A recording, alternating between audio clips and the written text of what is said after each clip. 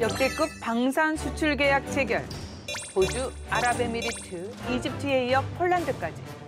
방산 수출의 새 역사를 K방산이 열어가고 있습니다. 전 세계 방산 강국 4위 도약을 목표로 국가별 맞춤형 수출 지원 전략 수립을 통해서 세계 속의 방산 강국 K방산 전성시대를 열어갑니다. 일자리 창출은 물론 미래 먹거리 산업으로 방위 산업의 도약은 계속됩니다.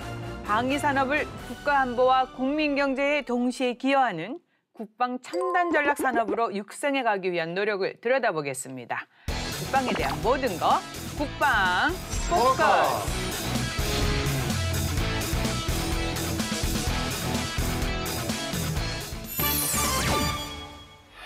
방산 수출 성과 그야말로 놀랍습니다.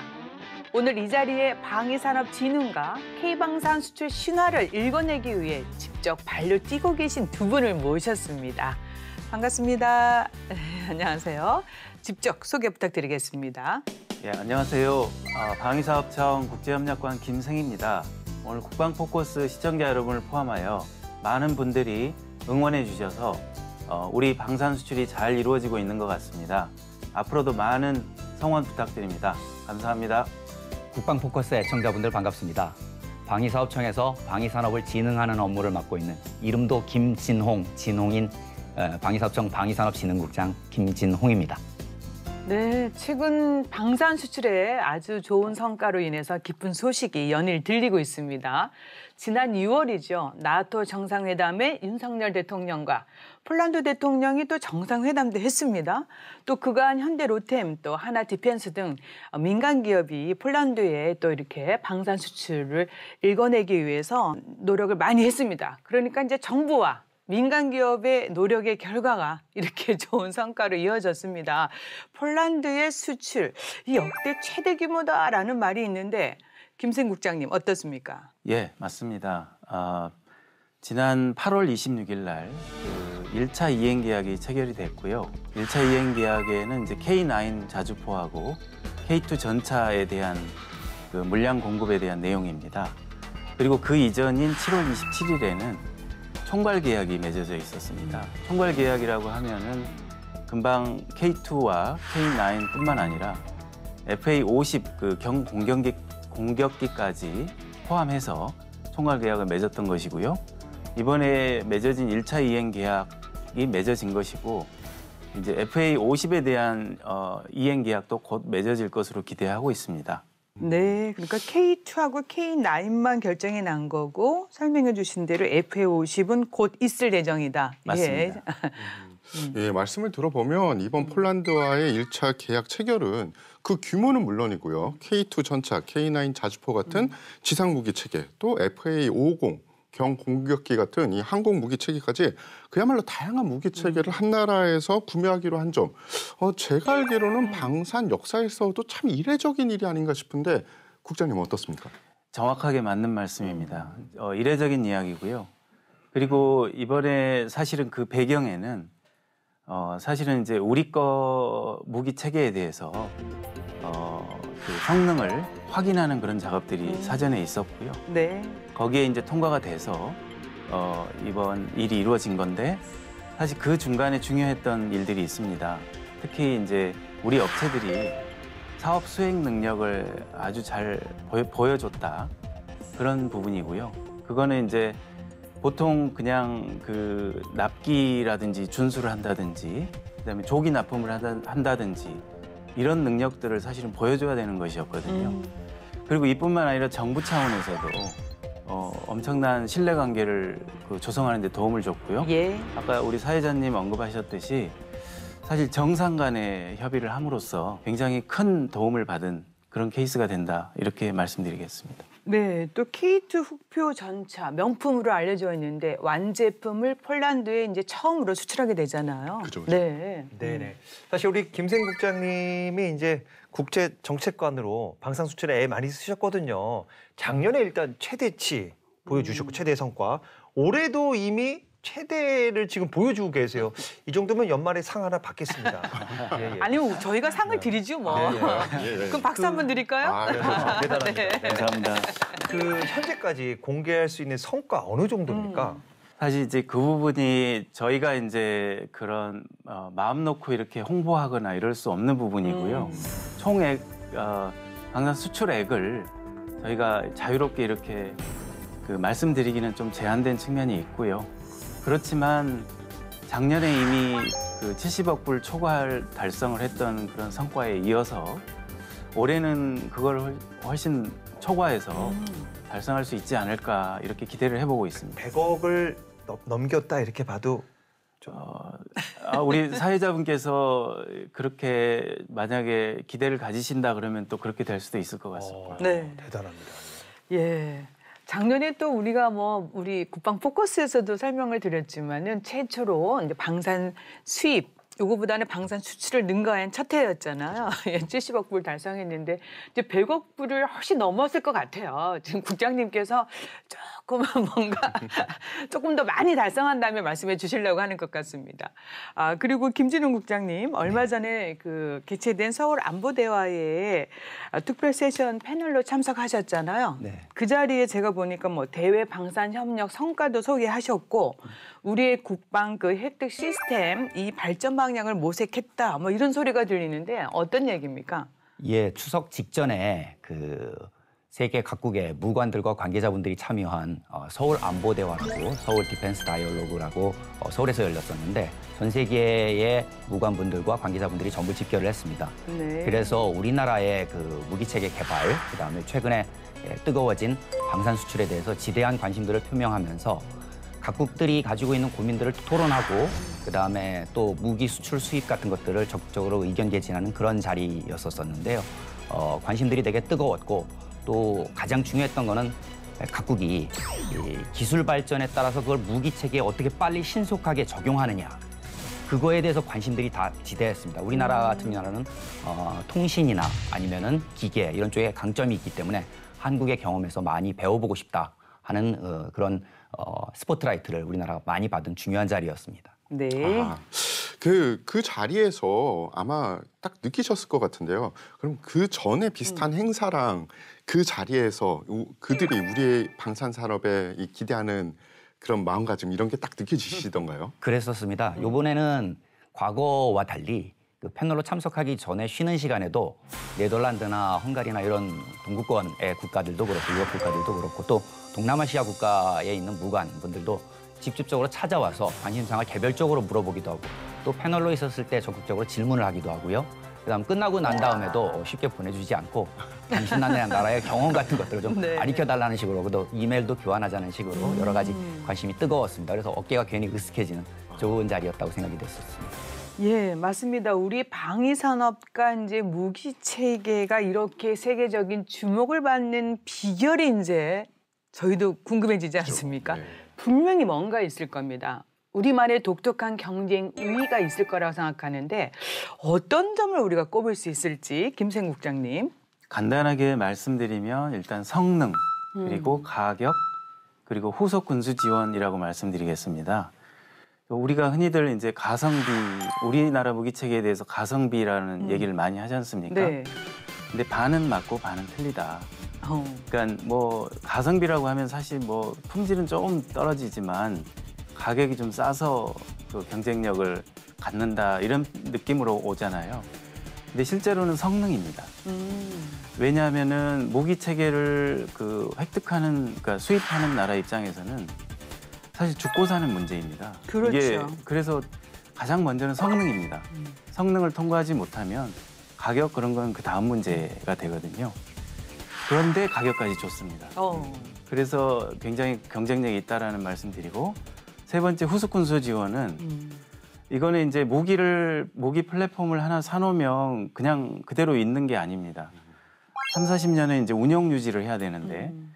운영 유지를 하려면 고장 나면 고쳐야 되고 음. 또 부품이 그 소모품이 그 저 다 다르면 그거를 다시 교체해 줘야 되는 그런 운영 유지를 해줘야 되는데 우리나라 후속 군수 지원이 아주 세계 최고입니다. 네. 그거는 이제 이유가 있는데 우리가 이제 북한과 상시 대치를 하고 있고 음. 그러다 보니 이제 우리 군에서의 후속 군수 지원 대비 태세를 갖추고 있기 때문이고요. 그래서 외국 그 수출 국가에게도 음. 어, 우리의 그런 역량을 발휘를 할 수가 있다 이렇게 보시면 되겠습니다. 네. 네네. 성능 좋고 가격 좋고 후속 군수 지원 좋고 예 방산 외교와 방산 수출은 국가 간 신뢰가 역시 중요하지 않을까 생각해 봅니다. 네. 네. 실제로 이제 방산 수출을 위해서 이제 많은 관계자분들 만났을 거 아니에요. 반응이 진짜 어때요? 사실 어, 중동이나 아시아 그다음에 이제 남미 이런 나라들도 많이 갔지만 최근 들어서 특히 이제 유럽 같은 선진국을 많이 갔었거든요. 근데 이분들 그 태도가 정말 제 개인적으로 느낌이겠습니다만 굉장히 부러워하는 어떤 그런 어. 느낌 그리고. 존경스러워하는 그런 느낌들도 사실 가졌었고요. 어, 사실 최근에 이제 CNN에서 어, 우리나라 K 방산이 그 메이저 리그에 들어섰다. 아. 이제 이런 말을 또 보도를 하는 걸 봤습니다. 네. 이게 이제 하나의 대변해 주는 이야기가 아닌가 싶습니다. 그래서 네. 서구 선진 국가들마저도 우리나라 어떤 이런 아까 말씀드린 장점들을 가지고 우리나라 방위 산업에 무기 체계에 관심을 점점 더 가지고 있다. 이렇게 말씀드릴 수 있을 것 같습니다. 네. 네, 우리의 멋진 방산 수출 소식 하나 더 들려드리겠습니다. 얼마 전에 이종석 국방장관님께서 호주를 방문하셨습니다. 뭐 여러 가지 이유가 있었겠지만 호주와 폭넓은 방산 협력을 더욱 강화하기 위해서 다녀오셨습니다. 아, 그런데 또 호주에는 우리 K9 자주포 수출되어 있기 때문에 그렇죠. 생산 기지도 직접 보고 오셨다는데 또 지금 독일과 경쟁하고 있는 레드팩 수출 아마 이거를 성사시키기 위해서 다녀오신 게 아닌가 싶은데요. 지금 상황이 어떻습니까? 예, 그 이종석 장관님께서 그 호주의 리차드 마일스 호주 국방장관과 회담도 하고 또 말씀대로 그 우리 K9 그 생산 공장 부지를 직접 방문을 해서 그곳에서 어, 양 우리 장관 간에 어, 어, 한 호주 국방 협력 그리고 방산 협력을 파트너십을 더욱 확대하자는 데 합의를 했고요. 네. 사실은 이제 장관님 이전에 한 달 기간 내에 방사청장 방문, 호주 방문 그리고 그 육군 참모총장도 방문을 했습니다. 어, 그래서 저희가 전방위적인 그 노력을 하고 있다 이렇게 말씀드릴 수 있고요. 아마 이런 노력들을 통해서 레드백 장갑차뿐만 아니라 호주와 또 다른 무기 체계들 협력이 앞으로도 저희가 열어가려고 노력을 하고 있습니다. 네. 그래서 이런 적극적인 노력을 하고 있기 때문에 한번 지켜봐 주시면 감사하겠습니다. 네. 이 레드백 수출이 완성이 된다면은 뭐 6조 얘기가 벌써 나오던데 맞습니까?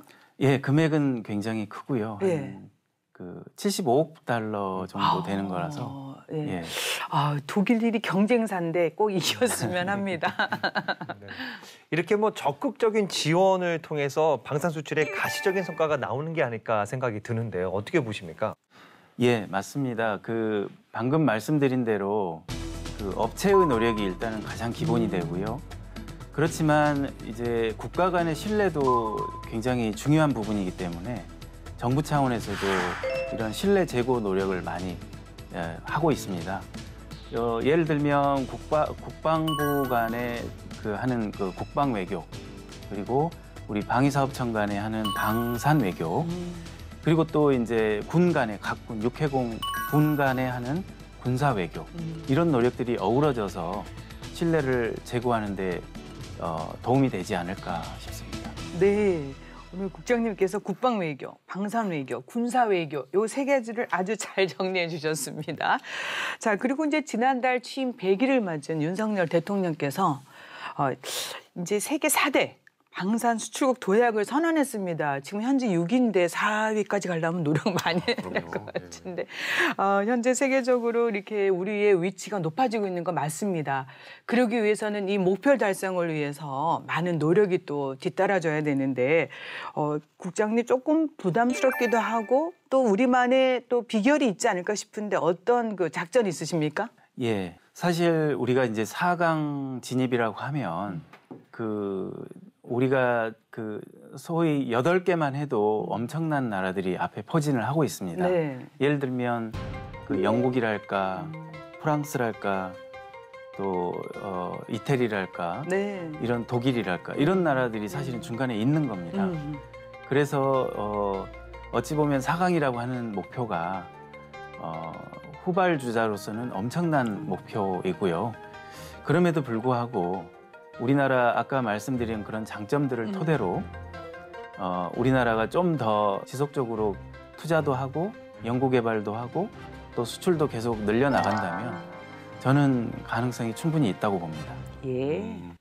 아, 예. 말씀하신 것처럼 중간에 그렇게 이 튼실한 나라들이 버티고 있고 또 부동의 1위 미국도 있고 그렇죠. 또 러시아도 있고 야, 이거 좀 쉽지 않은 것 같은데 김생 국장님은 실제로 이 방산 수출을 위해서 이 최전선에서 뛰고 계시잖아요.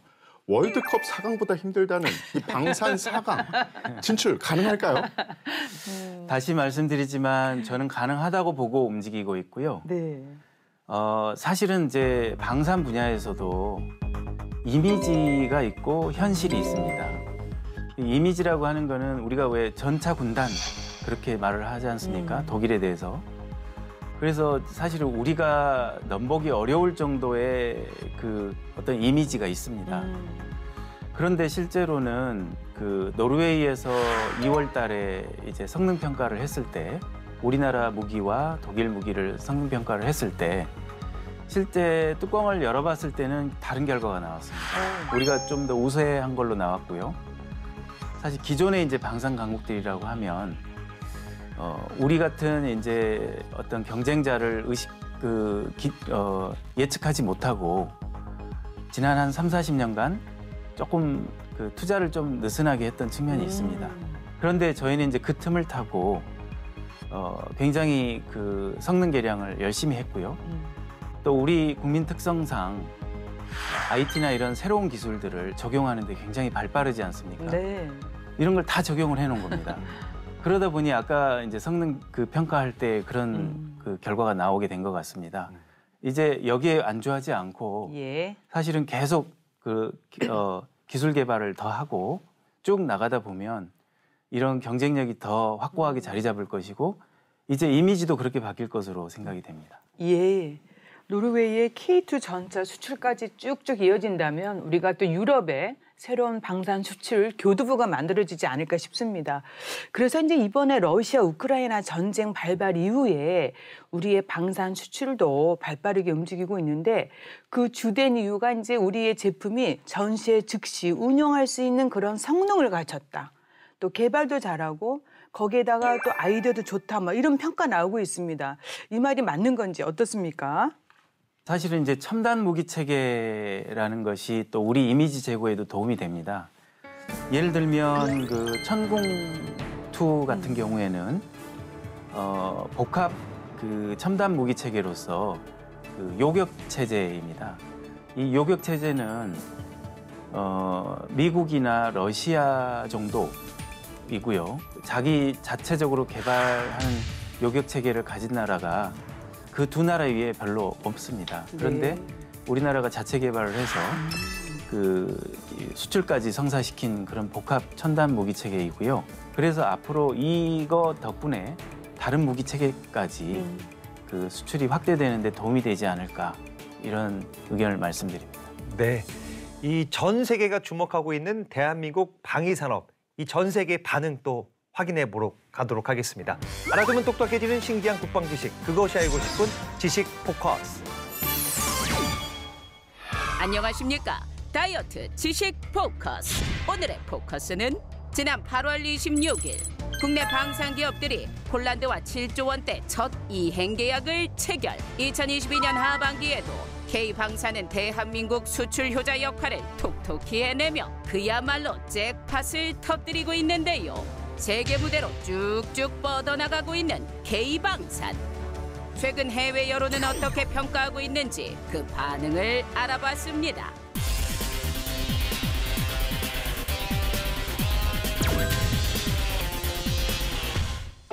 지난 7월 27일 폴란드 군비청은 K2 전차 1000대, K9 자주포 670문, FA50기 경공격기 48대 등 한국산 무기를 대거 사들이는 총괄 계약을 맺었습니다. 이후 한 달 후인 8월 26일 7조 원 규모의 K2 전차와 K9 자주포를 첫 이행 계약으로 체결했는데요. 폴란드와의 총괄 계약 규모는 약 20조 원대. 한국 방산 수출 사상 최대 규모입니다. 폴란드 국방부는 이번 계약을 신속한 인도와 대규모 기술 이전으로 평가하며 한국산 무기에 대한 강한 신뢰를 드러냈는데요. 폴란드 등 한국 무기를 수입하는 국가들이 늘어나면서 K방산의 위상 역시 날로 높아지고 있습니다. 스톡홀름 국제평화연구소의 분석에 따르면 세계 무기 수출 시장에서 한국이 차지하는 비율은 2.8%로 세계 8위. 최근 5년간 한국의 무기 수출 증가율은 무려 176%로 세계 1위를 차지했습니다. 같은 기간 전 세계 무기 거래 규모가 4.6% 감소했다는 점에서 더욱더 주목할 만한 성과인데요. 정부와 방산업계는 올해 K방산 수출액이 100억 달러를 넘어설 것으로 전망하며 그 기대감을 윤석열 대통령 취임 100일 기념 기자회견에서도 밝혔습니다. 미국, 러시아, 프랑스에 이어 세계 4대 방산 수출국 진입으로 방산 산업을 전략 산업화하고 방산 강국으로 도약시키겠습니다. 실제로 2017년부터 2020년까지 4년간 평균 30억 달러에 머물렀던 국내 방산 산업 수주액이 지난해 70억 달러를 초과. 이어 올 상반기 아랍에미리트와 4조 원대의 청궁투 방공 미사일을 계약. 이집트와 2조 원대의 K9 자주포 수출 계약을 맺으며 올해 수출액만 벌써 100억 달러를 넘어선 것으로 알려지고 있는데요. 올 하반기 폴란드와의 계약 체결을 두고 일본 요미우리 신문은 한국이 세계 방산 시장에서 존재감을 드러내고 있다며 러시아와 우크라이나 침략이 장기화하는 가운데 한국의 정부와 민간 기업이 하나로 뭉쳐 나토 회원국의 무기 수주에 힘을 쏟고 있다고 보도했습니다. 호주 시드니 대학교 미국 연구센터의 피터 리 톰 코번 연구원은 한국의 방산은 이미 메이저리그에 진입했다며 한국산 군용 장비는 미국산보다 싸면서도 성능이 좋다고 설명했습니다. 미국의 군사 전문가인 브루스 벡톨 앤젤로 주립대 교수는 한 방송에서 한국이 나토 회원국의 무기를 판매한다는 것은 한국산 무기 체계가 그만큼 발전됐다는 점을 보여주는 것이라며 앞으로 한국산 무기 수출 소식을 더 많이 듣게 될 것으로 전망했습니다. 해외 여론 대부분은 한국 무기 체계의 우수성을 언급하며 한국 무기를 사용하는 국가들이 점차 더 늘어날 것으로 내다봤는데요. 실제로 올 연말 노르웨이의 K2 전차를 호주의 레드백 장갑차를 수출할 가능성도 거론되며 그 기대감이 높아지고 있습니다.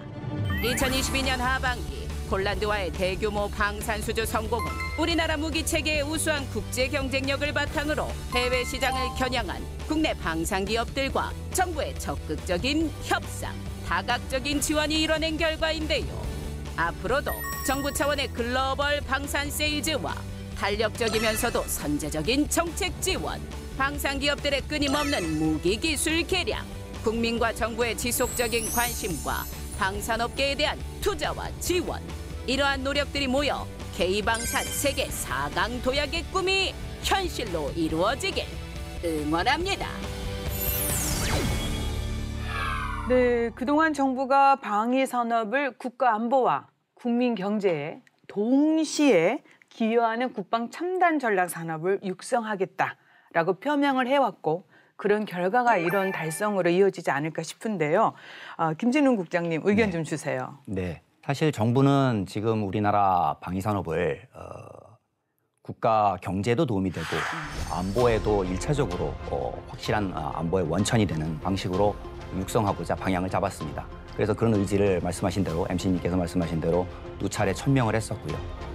그런 이유는 어, 지금 여러 가지 수출 상품에도 나타나고 있습니다만은 어, 전차나 뭐 장갑차나 이런 재래식 무기의 첨단 장비와 그 안에도 이제 정보통신과 관련된 설비들이 신규로 많이 들어가게 되겠고요. 그래서 기계 산업과 관련된 그런 수출이 이루어지면서 안보는 물론 경제에도 큰 그런 역할과 발전을 견인하게 되는 그런 측면이 있고 또 다른 측면은 미래전 양상은 현대전하고 많이 달라지고 있습니다. 예를 들어 드론이라든지 인공지능 AI라든지 아니면은 뭐 반도체와 관련된 최첨단 무기들, 무인정찰기라든지 이런 부분들은 어, 앞으로도 연구 개발이 많이 필요하고 세계적으로 경쟁이 굉장히 치열한 부분입니다. 네. 이런 부분을 발전시키는 것은 어, 비단 안보 측면뿐만 아니라 아, 국가 경제에도 굉장한 파급 효과를 갖거든요. 그래서 이런 방향이 앞으로 우리 군을 더 현대화하고 안보력을 증강시킴과 동시에 또 수출을 통해서 적극적으로 국가 경제 발전에도 기여하게 되는 그런 양자의 측면, 국가 첨단 산업으로서의 든든한 어, 측면을 발휘할 수 있다. 그래서 그런 방면으로 더욱 노력을 하겠다는 말씀을 드리고 싶습니다. 네. 그러니까 이제 러시아 우크라이나 전쟁을 지켜보면서 역시 미래는 첨단전이다. 그러기 위해서 지금 설명해 주신 대로 첨단 전략 건설은 필수적입니다. 우리 방위 산업의 역할을 이 부분에 조금 더 주목을 해야 되겠는데요. 첨단 전력 구축을 위한 방위 산업 진흥 요거는 또 어떻게 연결되어 있는지 또 무슨 목표를 가지고 있는지 사실 그 첨단 산업의 여러 가지 분야들, 에- 아까 말씀드린 AI라든지 드론이라든지 여러 가지 무기들과 관련돼서 아직 구체화되지는 못하고 각국이 어, 경쟁적으로 연구 개발 중인 상태입니다. 우리나라도 마찬가지입니다. 최근에 여러 가지 예산들을 대폭 증액하고 그 다음에 첨단 무기 경쟁에서 결코 뒤처지지 않으려는 그런 노력을 해오기 위해서 예를 들어 대학교의 우주 산업과 관련된 계약학과 한때는 우리나라가 바- 산업의 쌀이라고 하는 반도체 산업의 계약학과가 기업들의 협찬을 받아가지고 대학 내에 여러 군데에 많이 생겼었습니다. 그래서 거기 네. 우수 인재들이 반도체 산업 발전에 에, 연구를 해서 매진하고 그, 그 성과가 이어졌듯이 지금 우주와 관련된 것, 그 다음에 드론과 관련된 것 여러 가지 5대의 첨단 바, 아, 방위 이 산업의 첨단 분야를 설정해 놓고 관련된 어, 대학 내에서의 우수 인재를 영입하고 연구비를 지원해주고 그다음 취업까지 연계해주는 국내의 기업들과 관련돼서 이런 노력들을 기울이고 있고요. 그 외에도 여러 가지로 업체들이 추진하고 있는 연구개발 사업에 국가 전략적인 어, 예산을 배분해서 업계가 개발하고 있는 것들이 조속히 성과가 나올 수 있도록 우리 K방산 기업들이 더욱더 의욕을 가지고 매진할 수 있도록 하는 노력들을 기울이고 있습니다. 예산 확보 중요하지만 인재 양성이 또 필수고요. 또 민간 그 방산 업체에 대한 정부의 배려가 필요할 것 같습니다. 네.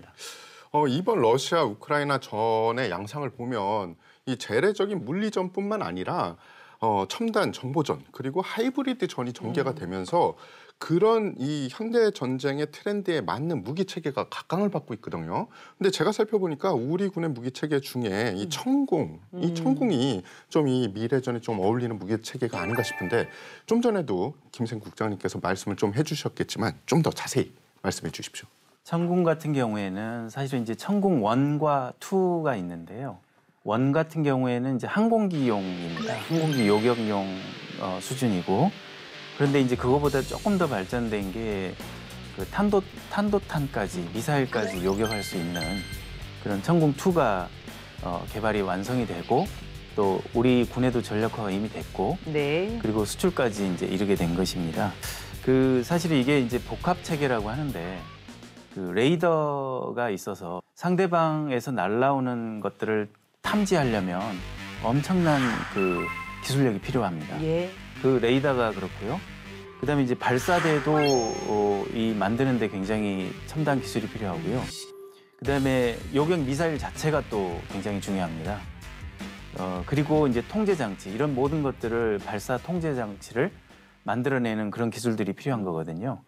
그래서 이러한 것들이 이제 첨단 그 기술을 요하는 그런 부분인데 예전 같으면 우리나라가 어떤 그런 첨, 어, 첨단 무기에 대해서 어, 사실 우리 자체적으로 개발하지 못하기 때문에 획득을 하고 사, 구매를 하고 또 고장이 나면 그 나라에 의존을 하고 뭐 이랬어야 되는데 이제는 우리가 우리 자체적으로 그 개발하고 전력화를 했기 때문에 에, 말하자면 이제 그런 우리가 첨단 기술력을 갖춘 그런 나라가 됐다 이렇게 보실 수 있고요. 어, 이런 측면이 어, 우리 방산 국방 기술력 기술력을 기술력이 굉장히 높은 나라의 하나로 어, 자리매김 시켜주는데 도움이 된다 이렇게 보시면 되겠습니다. 네. 그러니까 첨단 전략 건설에 매진을 꾸준히 하다 보니 기술과 노하우가 축적이 되고 이것이 또 방산 수출을 연결되는 그야말로 일거양득 두 마리 토끼를 다 잡고 있습니다. 그래서요, 어, 김진웅 국장님, 어, 첨단 전력 건설 그리고 방산 수출 이렇게 선순환 구조가 체계적으로 윤활하게 잘 유지되기 위해서 이런 것만은 꼭 돼야 되지 않겠느냐, 뭐 등등 좀 부탁드리겠습니다. 예, 정말 그렇습니다. 말씀하신 대로 어, 양자 간의 선순환 구조가 구축되는 것이 정말 중요하다고 생각합니다. 이번에 방산 수출이 쾌거를 이루면서 어, 앞으로도 가, 더 가야 되겠지만 어, 획기적인 돌파구는 열렸는데요. 이게 일회성이 그치지 않고 지속적으로 K방산이 강군 건설에도 도움이 되고 실질적으로 수출도 계속적으로 뒷받침하고 하려면 강한 강군과 함께 그 뒷배에 단단한 우리 K방산 산업체가 뒷받침을 하고 있어야 됩니다. 네.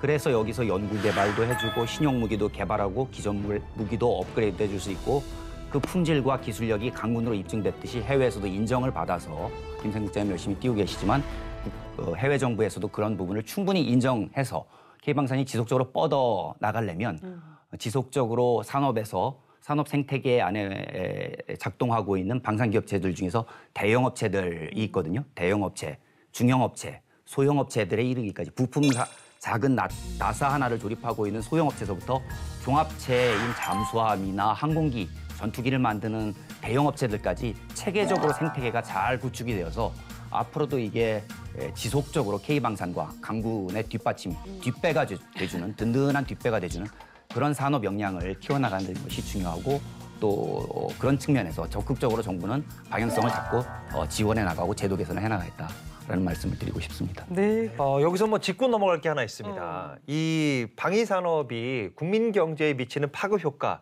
이 얼마나 될까라고 생각하는 분들이 많아요.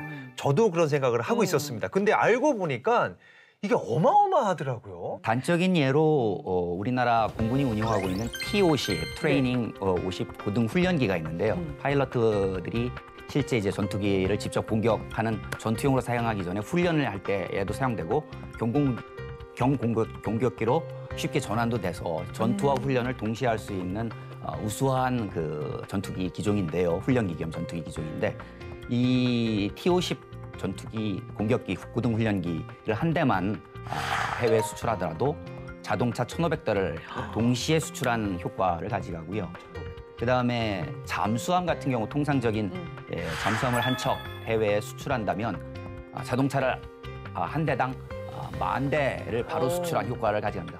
이렇게 중무장대한 아, 무겁고 그다음 두껍고 어, 길고 큰 무기 부품 자체의 수출 그 가치도 엄청나지만 아까 어, 김생 국 장님도 잠깐 말씀하셨습니다만 어, 무기라는 것은 지속적으로 그 안에 수리 부속 시간이 흐를수록 노후화되고 부품도 갈아 껴야 되고 설비들도 다시 이, 이 업데이트해야 되고 하는 그 수요가 계속적으로 발생하게 됩니다. 그래서 자동적으로 따라 붙는 어, 그런 어, 정비와 관련된 소요 그 금액도 엄청나고 더더군다나 그런 개별 장비만 요새는 움직이는 게 아니라 본부에서 운영하고 있는 여러 전산 시스템, 레이더 이런 것들이 다 호환이 되어야 됩니다. 예. 그 파급 효과가 엄청나기 때문에 단순한 그런 소비재 제품 하나 수출하는 거와는 다른 지속적인 파급 효과를 가질 수 있다는 점을 말씀드립니다. 네, 방산 수출 규모가 점점 커지고 있습니다. 뭐 자명한 사실 아닙니까? 어, 이제 이게 우리 경제에 방산 수출이 이제 차지하는 비중도 커진다. 이제 이런 얘기까지 되는 겁니다. 자, 그러면은 앞으로 방산 수출이 우리 경제에 더 많은 비중을 차지하기 위해서는 어떤 노력이 이어져야 될지 김생 국장님 말씀 부탁드립니다. 방위 산업이라는 거는 국가 방어를 위해서 국가 방위를 위해서 어, 필수적으로 해야 되는 부분이기 때문에 이게 뭐 경제성이 안 맞다고 해서 안 할 수도 없는 거거든요. 예.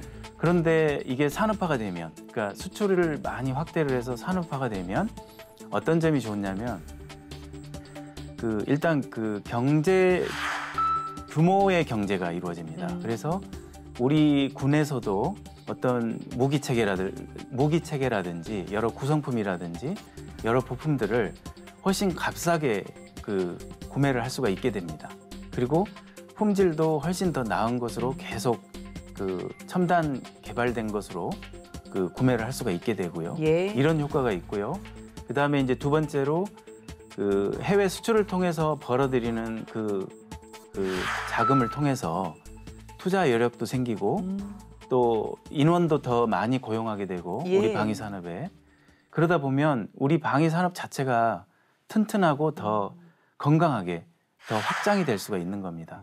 그래서 우리 국가 경제에 커다란 그런 그 역할을 하게 될 것이고요. 예. 아까 사회자님께서 말씀하신 대로 굉장히 어려운 작업입니다. 음. 수출 확대라는 것은 그냥 이렇게 쉽게 되는 것은 아니고요.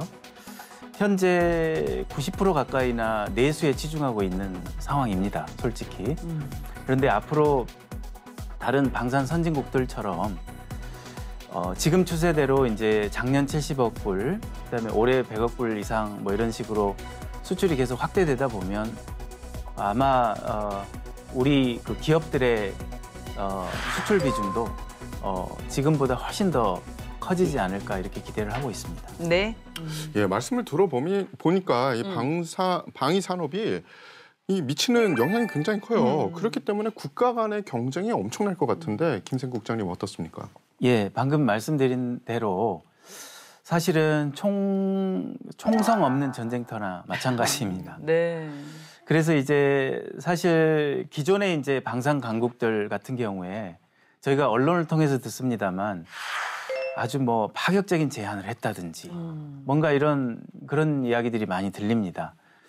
그래서 저희 입장에서도 어 일단 그, 그 총성 없는 전쟁터이기 때문에 치열한 각축전이 벌어지기 때문에 정보 파악에 굉장히 주력을 하고 있고요. 네.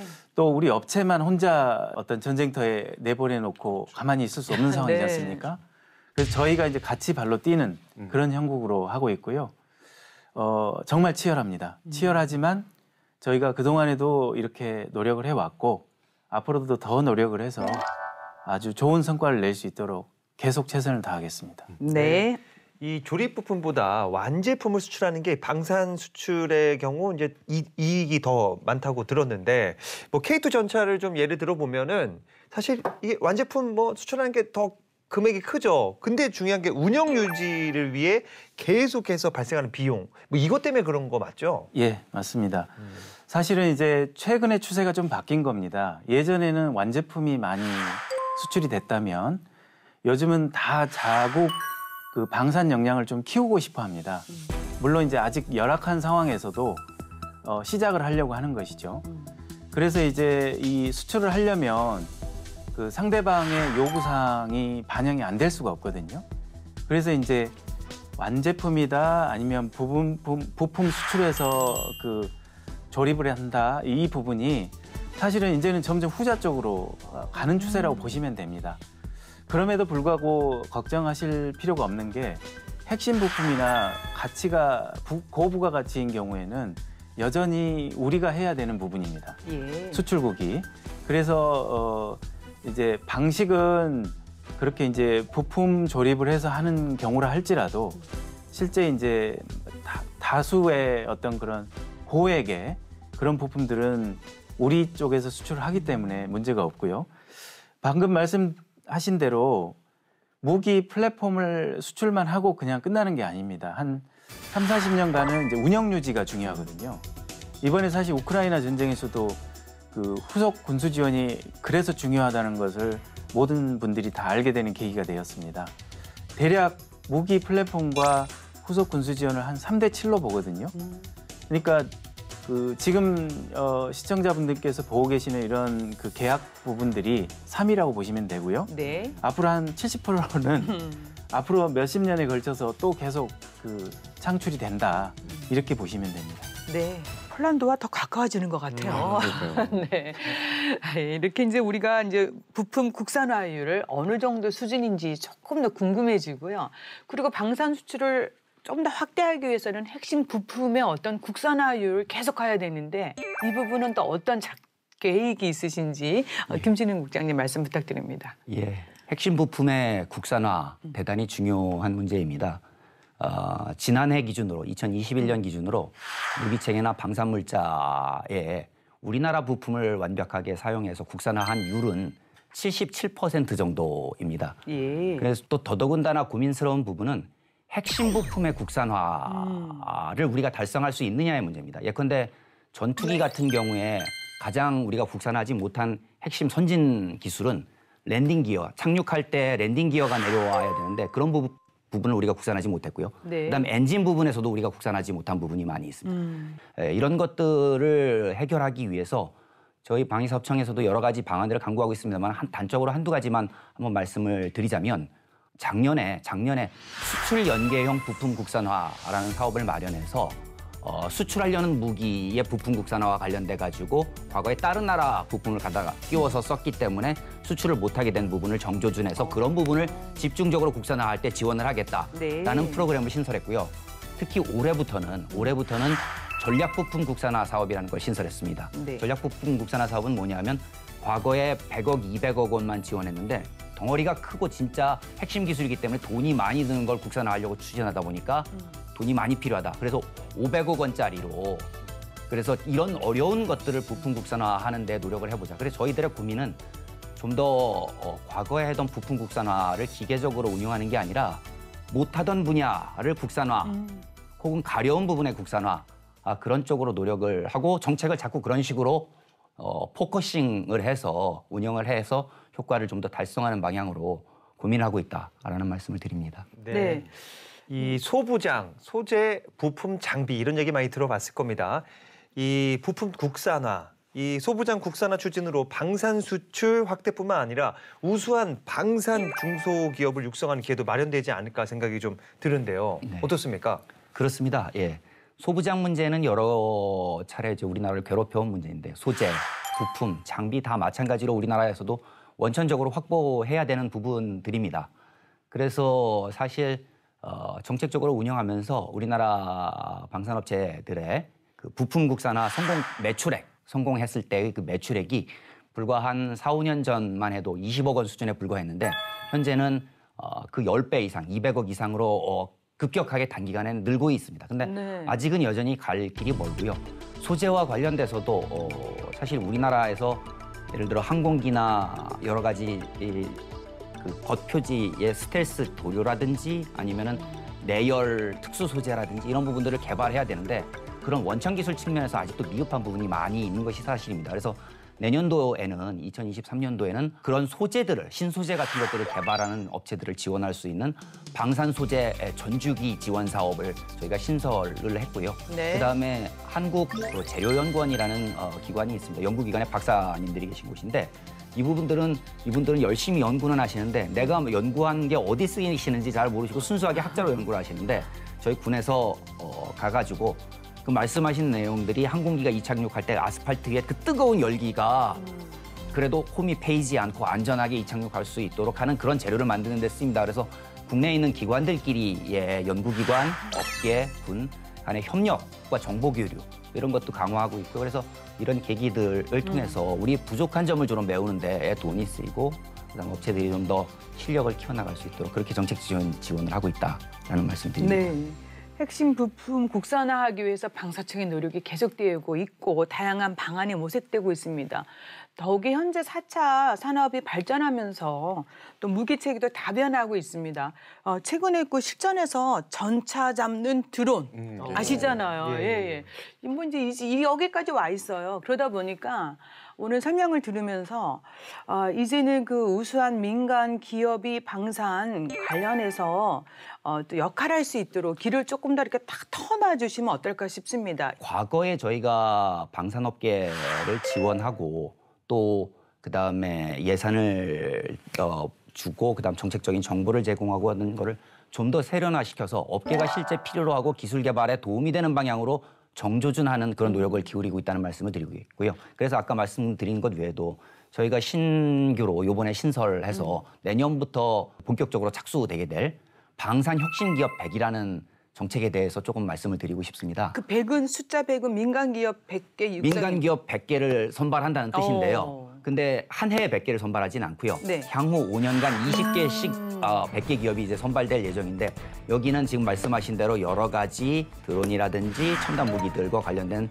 에, 무기 체계를 생산하는 업체들이 많이 작, 어, 포함이 되게 될 텐데 네. 다만 여기의 특징은 뭐냐면 과거에 업계를 예산으로 지원하는 방식은 서류 심사 받아서 그대로 검토하고 기계적으로 이 분야 괜찮겠다 성공 가능성이 몇 퍼센트다 이렇게 선별하던 데서 벗어나서 실제 박사님들과 저희 공무원들이 업계를 가서 흙 속에 묻힌 진주로 요번 우크라이나 전에서 발견된 것처럼 드론이 정말로 작동 가능한 새로운 아이템인지 눈으로 보고 그분들이 연구 개발만 하셨기 때문에 기술만 아시지 이런 복잡한 서류나 이런 것들을 잘 모르시는 분들이라도 한번 발굴을 해보자. 기존 사업들은 서류 심사로 paperwork로 가는 그런 선정 기준이 있다면 요번에는 조금 방향을 달리해서 흙 속에 묻혀 있는 진주가 기술만 아셨던 분들이지만 앞으로 파란을 일으킬 네. 그 한 해에 20개씩 선발되는 기업 중에서 태반은 다 도태되더라도 한두 개의 대박 상품이 터져서 네. 지속적으로 어, 방산과 관련된 강국을 이어가는 데에 스타가 스타 기업이 될 수 있다면 그런 쪽으로 정책적인 변화도 꾀하고 있고 지원을 어, 계속하고 있다. 이게 저희들의 요새 관심 사항이자 앞으로 정책 방향이다라는 말씀을 드립니다. 네. 요새 러시아 우크라이나전 영상을 보면 드론 영상이 정말 많이 나오는데요. 어, 전투가 계속 진행되면서도 이 상용 드론에 이 민간 기술이 많이 들어가는 것 같아요. 뭐 여러 이 탄을 쏠 수 있는 투발 수단을 민간의 이 기술로 이 장착을 시킨다든지 그래서 이 방산 수출에 있어서도 이 상용 민간 상용 기술이 좀 적용된 무기 체계에 대한 수요가 많을 것 같은데 김생국 국장님 어떻습니까?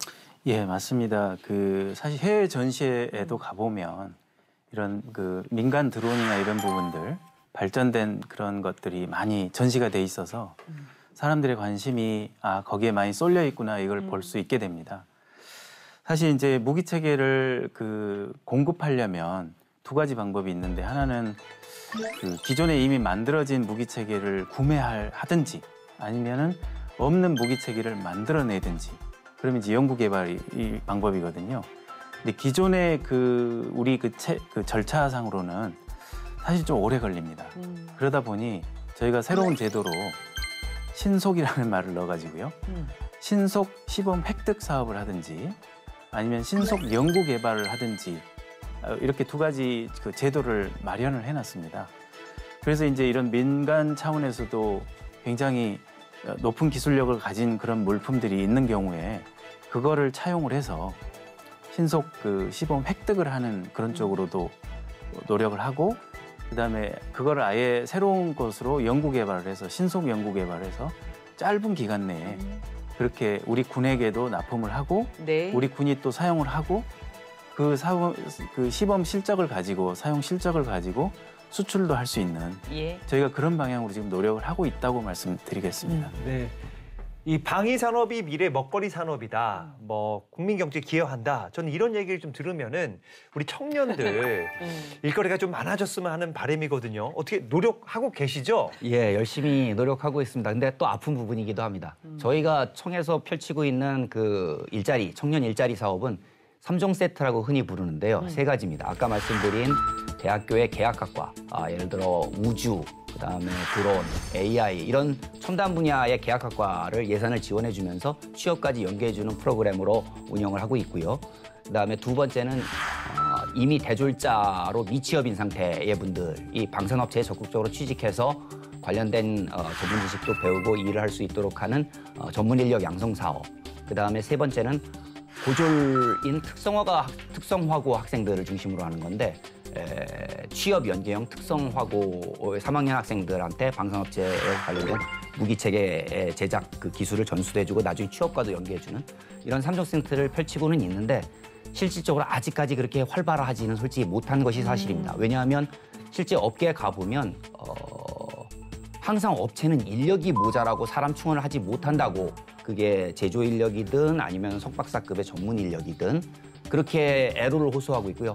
또 정작 대학생들이나 고등학생 취업반에 있는 분들을 만나보면 취업할 데가 없고 취업 정보도 없고 취업이 안 된다라는 그 미스매치가 굉장히 심각한 상태입니다. 그걸 조금이라도 해소하기 위해서 적극적으로 사업을 펼치고는 있는데 요새 정보통신과 관련된 플랫폼 회사들이 워낙 페이가 세니까 예. 학생들이 수업을 받고 나서도 다 그리로 움직이는 측면이 있는 건 사실입니다. 그건 인위적으로 정부 정책으로 할 수 없는 한계가 있지만 그럼에도 불구하고 최대한 어, 우수한 인력들이 이 국방 부문의 국방 부문의 첨단 부문 과 또 그다음 재래식 무기 분야에서도 골고루 좀 포진할 수 있도록 정책적인 노력을 어, 하고 있다는 말씀 드리고 싶습니다. 네. 자, 계속해서 방산 수출 이 성공적인 신화를 읽어 나가기 위해서 무엇을 해야 될지 다짐과 또 어, 각오 한 말씀 듣고 싶습니다. 우선 김진웅 국장님. 두 가지 정도 각오와 다짐 말씀드리고 싶습니다. 네. 예, 첫 번째는 아, 현대는 방산 수출에서도 어, 여, 여실하게 드러났듯이 민과 그다음에 관관의 기술 협력, 그다음 활발한 그 기술 이전, 협동 이런 것들이 되게 중요합니다. 그래서 민관 기술 협력 사업도 저희가 활발하게 론치를 산업부와 같이 추진하고 있는데 앞으로도 마찬가지입니다. 아, 신속 연구개발 사업이나 신속 획득 사업 말씀하셨는데 그거는 민간에서 쓰고 있는 기술이 군대 무기체계에 바로 적용될 수 있다면 복잡한 10년, 2, 3년씩 거치지 말고 신속하게 전력화를 해보자. 다른 나라와 경쟁하기 위해서. 네. 그런 쪽에 산업부, 그다음에 민간 민간 기, 기관들, 음. 업체라든지 아니면 연구소라든지 다 마찬가지겠습니다만 적극적인 소통을 통해서 한번 기술 협력을 활발히 해서 다른 나라보다 앞서 나가자. 이 부분에 가장 주안점을 주겠다는 말씀을 한 가지 드리겠고요. 예. 그러면서 이제 부처 협력을 어, 강화해 나가겠고요. 두 번째는 어, 계속 말씀드렸습니다만은 정책에 있어서도 가장 아까 말씀드린 대로 가려운 부분을 짚는 쪽으로 포커스를 집중적으로 맞춰 나갈 생각입니다. 그래서 과연 수출을 확대하고 첨단 기술을 발전시킬 때에도 어떤 쪽으로 돈을 투입하는 것이 가장 가성비 좋은 어, 효과를 낼 수 있을지 그런 쪽으로 정책 개발을 계속하겠다는 말씀을 드리고 싶습니다. 네. 국장님 마무리 네. 말씀 부탁드립니다. 예, 사실은 제가 처음 부임을 했을 때는 이제 30억 불도 이제 계속 유지하기가 어려운 음. 실정이었습니다. 그런데 이제 작년에 수출이 초과가 되고 또 앞으로도 이제 계속 초과가 되도록 노력을 할 거고요. 다만 그 사실은 수출이라는 부분은 그 호수에 떠 있는 백조라고 보시면 됩니다. 그 백조가 이제 위에서는 우아하지만 밑에서는 엄청난 노력을 하고 있지 않습니까? 그래서 이제 그런 부분 첫째는 이제 성능 유지 및 개발 그리고 성능의 뛰어난 부분을 계속 그, 그 경쟁력을 유지하기 위해서 지속적인 노력을 기울이도록 하겠고 또 동시에 이제 기- 어, 우리가 어, 아는 것만큼 모르거든요. 그래서 홍보 노력을 더 해서 예. 업체와 함께 그래서 우리 모기 체계의 우수성을 더 널리 알리는 노력들을 계속해 나갈 거고요. 그런 식으로 해서 이제 앞으로 올해도 그렇고 내후년에도 그렇고 지속적인 수출 그 확대를 위해서 계속 발로 뛰도록 노력을 하겠습니다. 네. 최근에 이제 방산 수출 쾌거 소식으로 우리 온 국민이 기뻐하고 있습니다. 그런데 역시 방산 산업 육성에는 많은 노력이 필요하고요. 그런 노력은 또 우리 군의 첨단 전략 강화로 이어지는 선순환 구조가 만들어지고 있습니다. 두 분 계속해서 애써주시고요. 많은 노력에도 또 감사드리고 싶습니다. 오늘 도움 말씀 잘 들었습니다. 감사합니다. 감사합니다. 방위산업 발전을 통한 첨단 과학 기술군 건설뿐 아니라 세계 4대 방산 수출 강국을 목표로 국민 경제 발전을 위해 최선을 다하는 방위사업청의 노력에 국민 여러분 많은 성원 보내주시기를 당부드립니다. 국방에 대한 모든 것 국방 포커스 오늘 여기까지입니다. 저희는 다음 시간에 다시 찾아뵙겠습니다 감사합니다. 감사합니다. 감사합니다.